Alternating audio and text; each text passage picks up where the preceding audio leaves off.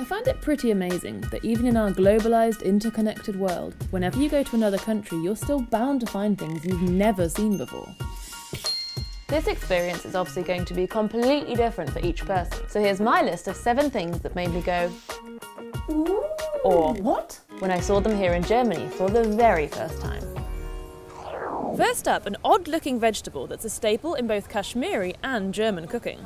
The kohlrabi. Its name comes from the words for cabbage and turnip, but it actually belongs to the cabbage family. So, how do you eat a kohlrabi in Germany? Als Beilage zu Kartoffeln. Gedünstet mit Soße. Roh. Als Auflauf, Salat. Mir schmeckt's jedenfalls.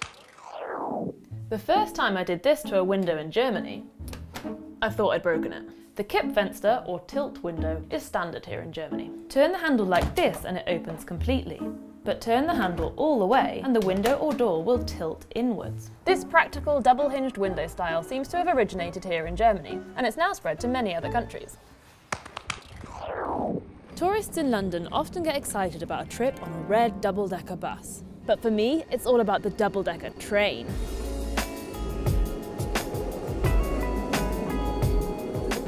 Fact, these kind of double-decker trains can be found in many countries all over the world. But I first set my eyes on one in Germany, and the novelty still hasn't worn off.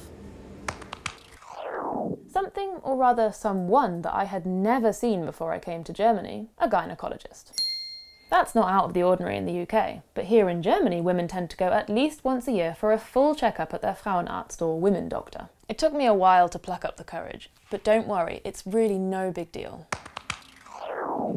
Twice a year the Germans take their cars to the garage and change their tyres from winter to summer and back again. I'd never actually heard of the concept of winter tyres before, and to be honest it seemed a tad over the top. I mean yeah, sure it can snow here, but it's not Canada. So what exactly are the rules? Unter 7 Grad sollte man Winterreifen fahren. Deswegen gibt es auch die O-Regel von Oktober bis Ostern. Sollte man die Winterreifen aufschnallen. Diese ganzen eingeschnittenen Lamellen hier, die brauchen natürlich der Winterreifen. Ne? Da muss ich ja irgendwo reinkrallen, ganz klar in den, in, in den Schnee rein. Das braucht ja der Sommerreifen nicht. Next up, this sign. Men urinate standing up, right? Not necessarily. Many men in Germany prefer to take a seat, at least in their own home. It's such an important cultural habit that its proponents have a specific name, Sitzpinkler, or sitting peer. This method means no mess from splashback or poor aim, and one study even suggested it can have health benefits too. Sometimes you don't realise that something's missing in your life until it comes along. A good example of that is ice cream that looks like spaghetti bolognese. Spaghetti ice is a hot favourite in Germany's ice cream cafes. It was invented in Mannheim 50 years ago by pushing vanilla ice cream through a pasta making contraption. Then there's strawberry puree for the tomato sauce and grated white chocolate for the parmesan cheese.